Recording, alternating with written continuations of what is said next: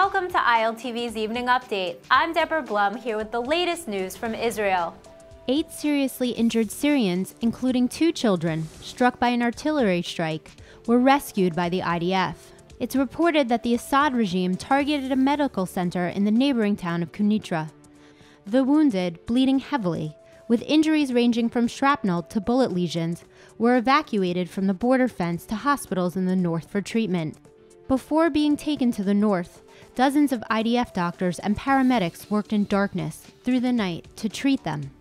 The Army staff risked their lives to perform the rescue, including landing helicopters close to the war torn region.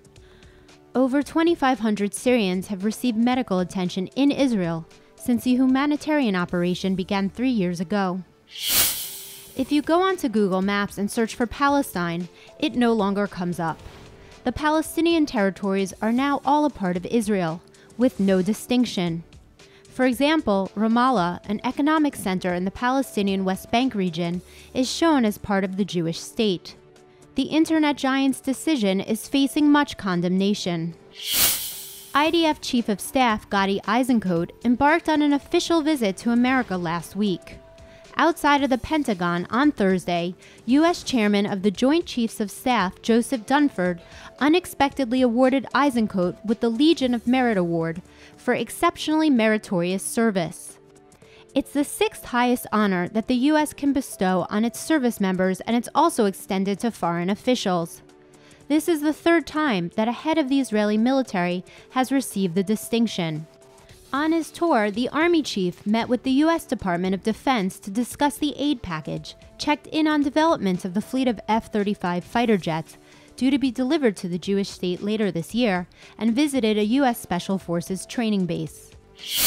Each year, about 1,300 from the Haredi ultra Orthodox community in Israel reject its teachings and leave to become a part of the secular world.